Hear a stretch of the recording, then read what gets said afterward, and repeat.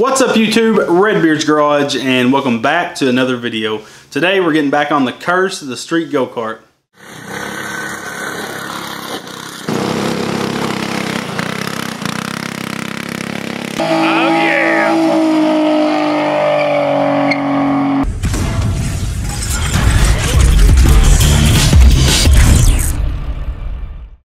Now it isn't no secret that I absolutely have had nothing but trouble out of the street go-kart. Every video becomes a super big pain because nothing works out. So uh, in this video we're going to put the exhaust on, we're going to throw the original gas tank back on, and uh, we're going to line up that torque converter. So uh, let's quit wasting time and get right into it. Alright, so we're back on this thing again. Um, that's what I end up doing with the air filter.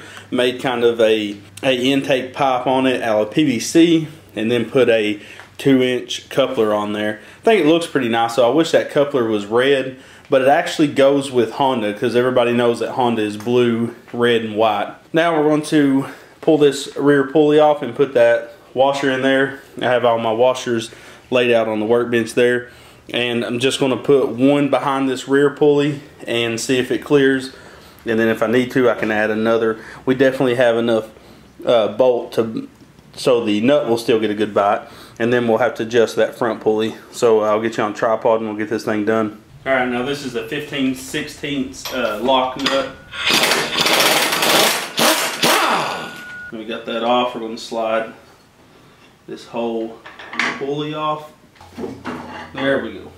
It looks like it already has a few washers on there but it definitely needs it needs a few more all right, I do have these washers. They're a little bit bigger than the shaft, but all we're trying to do is, is get it away from that chain. This with one washer, so let's see if one washer is is enough. No, it looks like it's gonna need, need one more. That looks like it gives it enough clearance, so we can go ahead and put this lock nut back on, and we can pull that front pulley off to put some washers behind it. This is a 5 8 by the way, in this front pulley.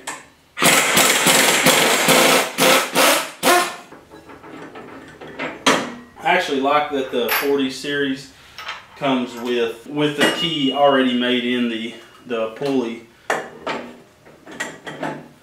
in the pulleys. That's pretty nice. Now I'm just going to eyeball this and make sure it's in line. I'm going to throw the belt on. That's also a good way to kind of tell where everything needs to set.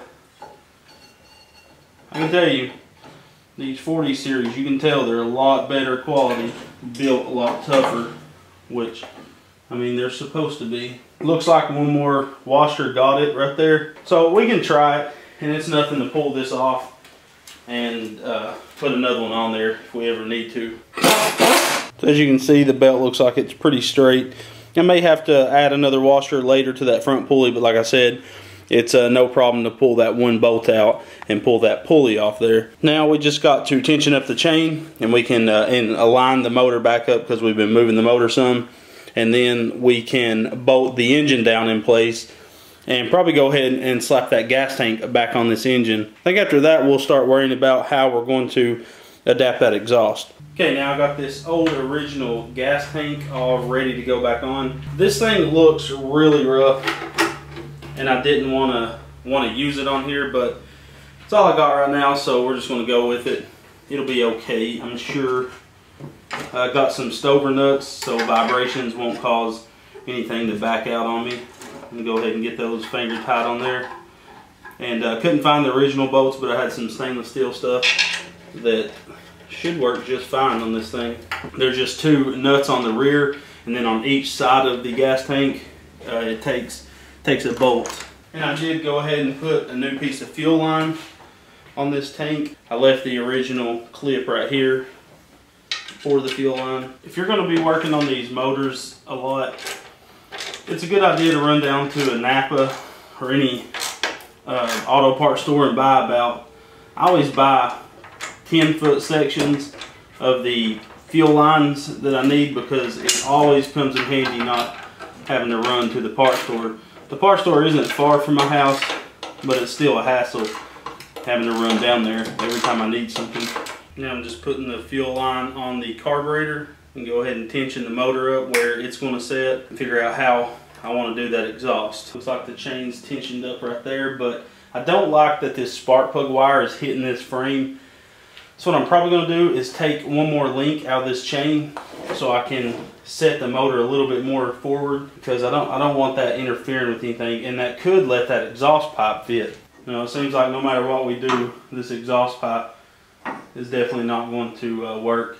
And I know I can just take a hammer and put a good dent in the pipe right there in this pipe, but I really don't want to beat up the frame, even though this frame is kind of kind of garbage status.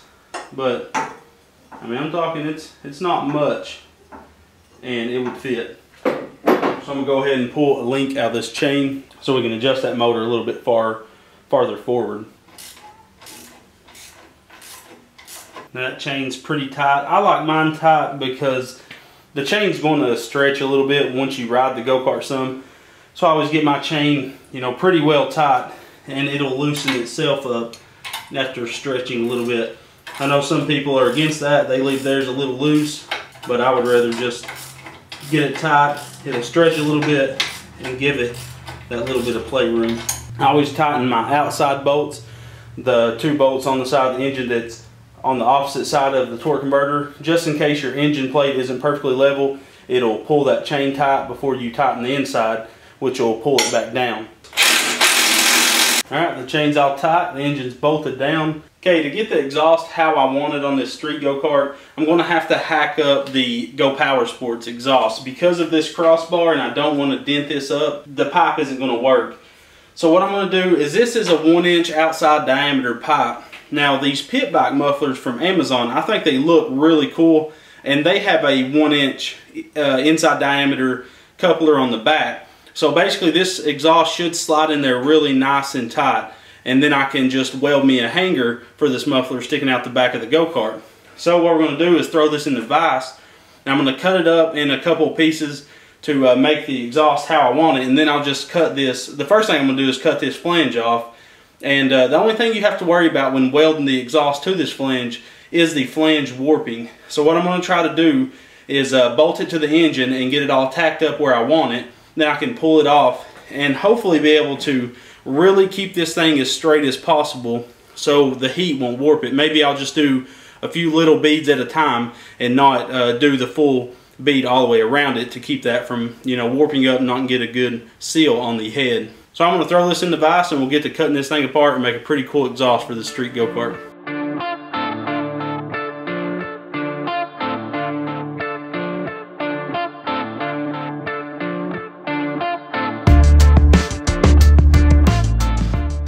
Got that flange cut off this exhaust. So next I'm going to put the flange in the vise and take a flat disc and uh, grind that pretty smooth. I may take the cutting disc and cut it a little closer uh, because it'll be a lot easier while it's in the vise.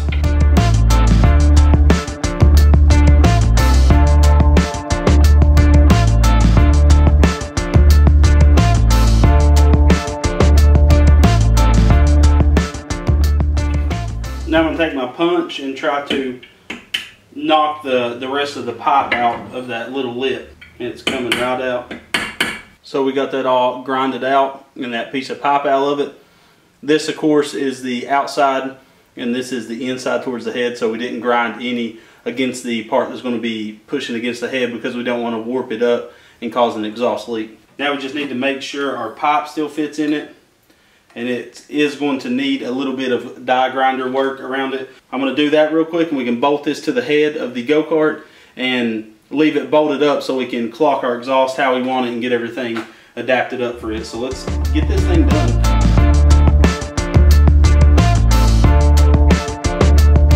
Now the pipe is fitting down in there real nice. Um, so let's get this bolted to the head. I'm thinking somewheres in there I will cut this pipe because that'll give me a nice like 45 coming off the head so the muffler can kind of slant out towards this side. I don't want it slanting this way because I could reclock this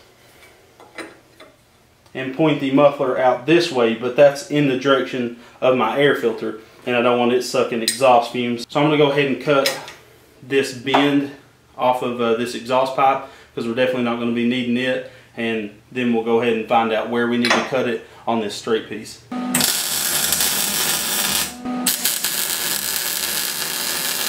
Okay, so we got the exhaust done. I'm sorry I didn't film it all. My Some of my family stopped by and I kind of was talking to them while I was working on it. But as you've already seen, we got the cold air intake. I am going to sand that pipe down, uh, all the casting marks off of it and then paint it black. Later on, we can add the nitrous barb, probably right in this elbow, so it's a direct shot into the carburetor. And as well, I put this breather for the valve cover right there. I think it looks really nice onto the exhaust. You see me cut some pieces up and this is fully mounted. This isn't going anywhere. I am going to weld on a piece of uh, flat stock to this for this hanger to bolt to. I think it'll look, you know, really nice with that hanger on there. And it just gives a muffler support because these mufflers only slip onto the exhaust. So as you can see, this is how I end up running this. I went to one of my buddy's house and that's the original pipe, of course, going to the exhaust flange. So my buddy ended up having this coupler that was one inch inside diameter and I welded it to the original exhaust pipe or what I cut off of it anyways. And then he had this cone piece. I couldn't have found a better piece of metal to work out for this exhaust because that cone, one end had a one inch outside diameter and the other end had a one and a half inch.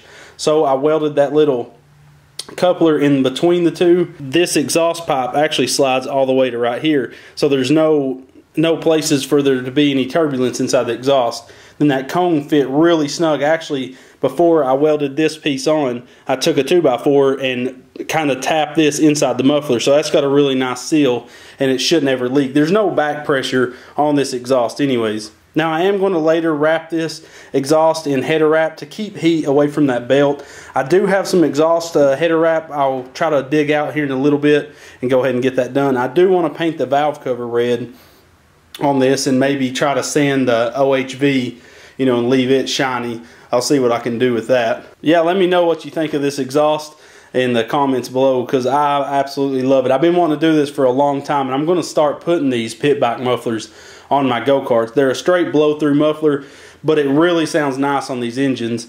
Um, and then, of course, the spooler, once it's up there, it's going to add to it. This thing is going to absolutely, hopefully, it's fast. Uh, I mean, it should be with this big block 9 horse, but I went ahead and got all those bolts for the steering wheel.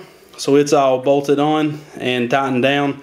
So that's already. I am going to adjust the toe and camber of these wheels, or not the camber, just the toe, uh, because it wants to fight you when you when you turn one way, it yanks you that way. You know, it's wanting to fight to go both ways at the same time. So the fronts of the tires basically just both need to be pushed out some. So I'll adjust those tie rod links here in just a little bit. Now I got to mount this old brake line down so it's not, you know, just flipping and flopping everywhere. And then we'll lay the seat on there and see how much clearance we have. I'm still going to run that bench seat for now, but really soon I'm going to uh, break out the, the bucket seat that I have, cut it and extend it make it wider because it's like a, a extra large and they're really made for smaller people. I mean, I, my hips won't even slide in the dang thing, so we're going to definitely extend that. But uh, it's coming along pretty nice. So the street go-kart is uh, giving us a little bit back. It's gave us nothing but headaches during this build. It's been absolutely a pain to work on. That's why you've seen such a pause in between the videos. It wasn't because I was just absolutely tired of it. Uh, we do have a lot of special stuff coming up in episode 6. You're going to finally get to hear it run. I wanted to include that in this video, but it's been raining for the last few days. And I got it all wrapped up outside because it won't fit in the garage with this big four-seater build that's going on. Now the exhaust does sound awesome. Um, I will be doing a run down the road in the next episode so you can hear the exhaust note, see how it performs, and uh, we'll work out any kinks that we have from then on. We're going to get that steering address, put the bucket seat on it, and uh, then we'll finally, once everything is completely done, then we'll go to uh, paint and uh, getting all the welds finalized, like I said, and primer it, paint it all up, and make it look nice. Guys, as always, do not forget to go check out Go Power Sports. They have a huge amount of go-kart parts from seats to axles to steering wheels to torque converters. Whatever you need for your go-kart, I'm sure they're going to have you covered. And use that Redbeard discount code to save 10% on your purchase. Now tell me what you think of the street go-kart in the comments below. Uh, this thing has fought me. This video wasn't so bad. I did miss half the exhaust build because I had some family over, so uh, beg my pardon on that one. But uh, we'll get this thing finished up in the next couple episodes and uh, get this four-seater go-kart pushed out so we can start some other massive projects. Uh, V-Twin would be one of those. Don't forget to like, comment, and subscribe.